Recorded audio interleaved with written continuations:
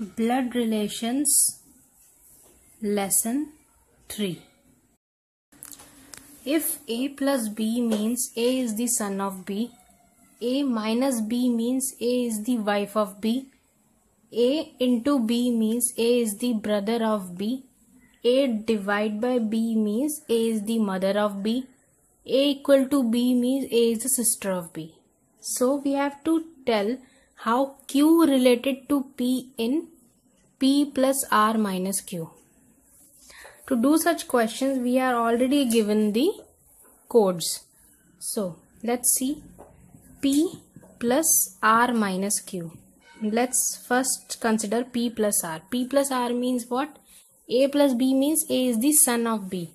That is P is the son of R.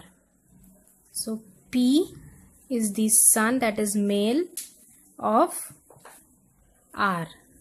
Right now we don't know the gender of R. Now let's see the next relation that is the R minus Q.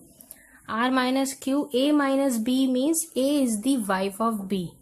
That is R is the wife of Q.